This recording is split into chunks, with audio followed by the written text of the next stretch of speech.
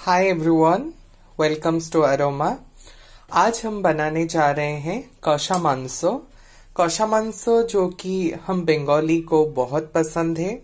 I hope आप सबको बहुत पसंद आएगा।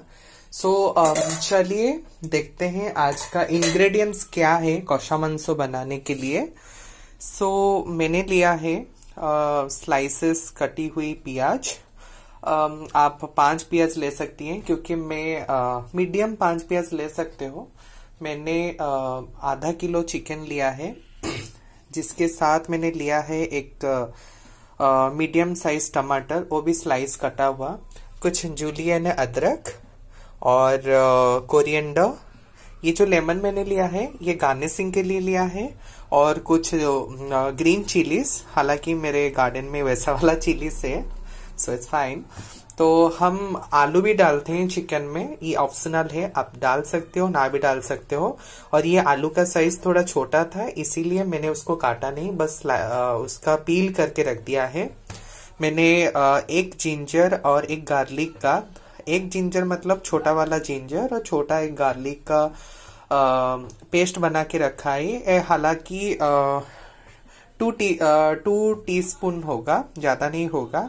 और उसके साथ मैंने रखा है कुछ होममेड स्पाइसेस और इसका डिस्क्रिप्शन मैंने लिंक में दे दूँगा। इसमें है बे लिप्स यानी कि तेजपत्ता, काली मिर्च और कड़मम। अभी मैं कढ़ाई में ऑलरेडी तेल डाल चुका हूँ। हमें अभी क्या करना है? हमें पहले प्याज को फ्राई करना है। आप याद रखना, जब आप बनाएँगे, तभी गैस को गैस का जो फ्लेम है, इसको मीडियम फ्लेम में रखना, ना ज़्यादा हाई, ना ज़्यादा लो, क्योंकि जलने का चांसेस है। और मुझे लगता है कि खाना जैसे धीमी आँच में पकाने से इसका टेस्ट और फ्लेवर दोनों एनहांस होता है ना कि ज़्यादा ज़ोर देने से या ज़्यादा फ्लेम कम करने से खाने का टेस्ट थोड़ा इधर उधर हो जाएगा। तो बाकी मैं आपको दिखाता हूँ, जैसे मैं प्रोसेस फॉलो करते जाऊँगा। तो प्याज के बाद मैंने इसमें जिंजर गार्लिक पेस्ट डाला और इसको थोड़ा कुक होने के लिए मैंने छोड़ दिया। आपको कैसे पता चलेगा कि जिंजर गार्लिक कुक हो चुका है? जब आपको दिखाई देगा कि साइड से जो भी तेल है, वो जब उभर के ऊपर आएगा, तभी आपको पता चलेगा कि आपका जिंजर गार्लिक भी ऑलमोस्ट कुक हो चुका है। उसके साथ मैं एक बात बोलना चाहूँगा, आप जो भी चिकन लेते हो चिकन लाने के बाद उसको थोड़ा पानी में डीप करके फ्रीज में रख दीजिए या कोई भी कूलिंग टेम्परेचर में रख दीजिए। ये चिकन डिश का या आप ग्रेवी बनाओ, कुछ भी बनाओ, ये चिकन को जूसी बनाता है। ठीक है? और मैं जो भी बना रहा हूँ, इसका जो भी डिस्क्रिप्शन इसका जो भी सॉरी इसका जो भी रेसिपी वगैरह है और क्वांटिटी जो भी मैं फॉलो करता हूँ, सारे मैं डिस्क्रिप्शन में डाल दूँगा। हालाँकि वो आपको इजी रहेगा अगर आप इसको ट्राई करेंगे तो।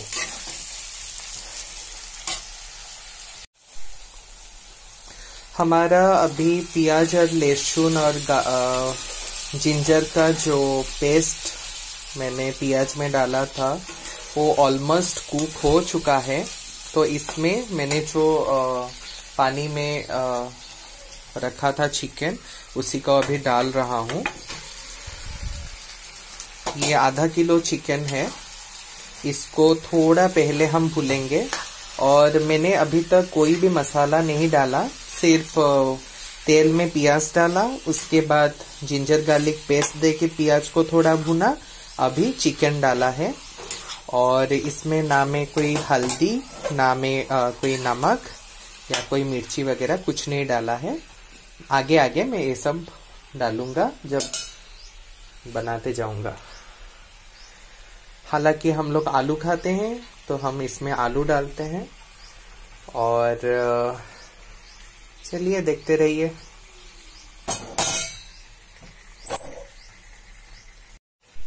एक्चुअली ये आलू वाला पार्ट ऑप्शनल है। आप चाहो तो आलू डाल सकते हो आप चाहो तो ना भी डाल सकते हो क्योंकि आ, हर जगह में नॉनवेज में आलू पसंद नहीं करते लेकिन हम बंगालीज मोस्टली नॉनवेज में आलू खाते ही हैं।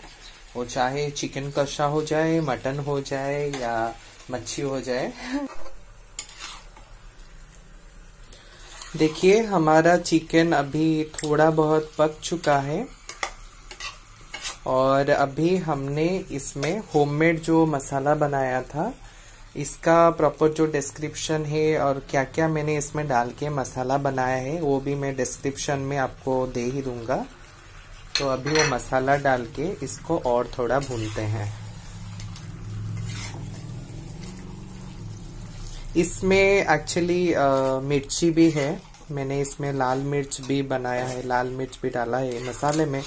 तो मैं अलग सा मिर्ची पाउडर नहीं डाला क्योंकि इसको बच्चे भी खाने वाले हैं तो ज़्यादा तीखा हो जाएगा। लेकिन फिर भी ये स्पाइसी बनता है और स्पाइसी बनेगा और आपको जितना भी स्पाइसेस चाहिए लाइक मिर्ची और या चिली जितना भी चाहिए, वो आप अपने हिसाब से इसमें डाल सकते हो। अभी हम इसको थोड़े पकाने के लिए वो ढक देंगे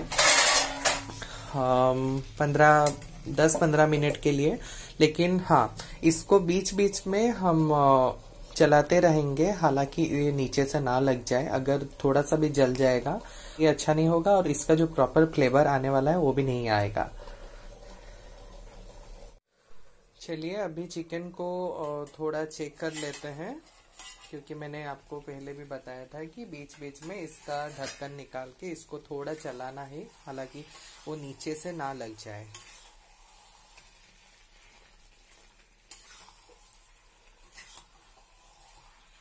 चिकन जब आप कशा बनाते हो, आपको एक्स्ट्रा पानी देने का इसमें कोई भी ज़रूरत नहीं है, क्योंकि चिकन से ही पानी निकलता है। और आप बस उसको टाइम लेके बीच बीच से चलाना। मैंने जो हरी मिर्च लिया था, तीन तो उसको हरी मिर्च को इसमें डाल देंगे। हर कटा हुआ धनिया मैंने लिया था, उसको भी इसमें डाल देते हैं। और बाकी गार्निशिंग के लिए मतलब खाना खत्म होने के बाद उसके ऊपर जो धनिया डालना होता है, वो मेरे पास अलग सा है। ये धनिया मैंने इसलिए डाला कि थोड़ा फ्लेवर एनहांस होने के लिए। और मैं अपने खाने में ऐसे ही डालता हूँ, क्योंकि मेरा मानना है कि सबका बनाने का तरीका अलग रहता है। मेरा बनाने का तरीका ऐसा ही है, शायद आपका कुछ अलग होगा। अगर अगर आपको मेरा चिकन बनाना या मेरा रेसिपी आपको अच्छा लगे तो प्लीज़ लाइक शेयर सब्सक्राइब ज़रूर करना। अगर आपको लगता है कि मैं किसी चीज़ में थोड़ा कमी है मेरा या किस चीज़ में मुझे थोड़ा इम्प्रूवमेंट करना चाहिए so your recommendation are always accepted and आपका एडवाइस को भी मैं ज़रूर एक्सेप्ट करूँगा और इम्प्रूव करने के लिए कोशिश करूँगा। इसको और थोड़ा टाइम 10-15 मिनट ऐसे ढक के पकाते हैं। उसके बाद जब हमें लगेगा कि हमारा जो पानी चिकन में हमने चिकन से जो पानी निकलता है जब हमें लगेगा कि वो पानी निकलना खत्म हो गया है और तेल निकलना शुरू हो गया है तभी हमें पता चलेगा कि हमारा जो कषा मांस रेडी होने वाला है। सो so, चलिए मैं आपको अभी कस मतलब कषा बनाता हूँ और बनाने के बाद जब मैं फाइनली जो रिज़ल्ट आएगा उसको मैं आपको प्रॉपर गार्निशिंग के साथ दिखाता हूँ। देखिए चिकन ऑलमोस्ट बन के रेडी है और पानी भी पूरा ड्राई हो चुका है और मसाले के साथ भी प्रॉपर कोट हो चुका है चिकन और आलू भी पक चुका है यानी कि हमारा चिकन बन के तैयार है। शुरू में आ, मैंने आपको दिखाया था कि मैंने थोड़ा काली मिर्च और दो हरी इलायची यानी कि काड़ा मन लिया था जिसको मैंने कूट के इसके ऊपर ऑलरेडी डाल दिया है। सॉरी मैंने क्लिप लेना भूल गया। तो बस वो फ्लेवर के लिए ज़्यादा आप ब्लैक पेपर काली मिर्च मत डालिएगा, क्योंकि ज़्यादा तीखा हो जाएगा। हमने ऑलरेडी ग्रीन चिली डाला है। बाकी इसको और थोड़ा भूनते हैं। आप चाहे तो इसमें ग्रेवी भी रख सकते हो। लेकिन हमेशा ट्राई करना कि बॉयल पानी इसमें देने के लिए, गुनगुना पानी देने के लिए ग्रेवी के। ठंडा पानी मत दीजिएगा। ये थोड़ा गुनगुना पानी से टेस्ट थोड़ा अच्छा आता है। और ऑलमोस्ट हो चुका है। मैं आपको प्लेटिंग करके ही दिखाता हूँ। मैं तो ऐसे ही कसा रखूँगा, मुझे ग्रेवी नहीं चाहिए। अगर आप चाहो तो इसमें थोड़ा गुनगुना पानी दे के आप इसका ग्रेवी यानी कि रस्सा वो भी बना सकते हो। देखिए, हमारा कसा मांसो बन के तैयार है। ये आप रोटी, चावल, पराठा, नान किसी के साथ भी खा सकते हैं। ये खाने के लिए बहुत डिलीशियस है, बहुत स्वादिष्ट है। आपको बहुत अच्छा लगेगा। मैं आप सबको रिक्वेस्ट करूँगा, इंसिस्ट करूँगा कि मैंने जो रेसिपी आपको दिखाया, आप घर पे भी ट्राई कीजिए। और मुझे बताइए कमेंट करके कि आपको कैसे लगा। और लास्ट में मैं ये बोलना चाहूँगा कि आज मेरा पहला ब्लॉग था और ब्लॉगिंग के टाइम रिकॉर्डिंग के टाइम में थोड़ा नर्वस भी फील कर रहा था, लेकिन मेरा मानना ये है कि दिल से बना हुआ चीज़ ज़रूर दिल तक पहुँच ही जाता है। So with this I am going to end my blog and hope you all all your day thank you so much.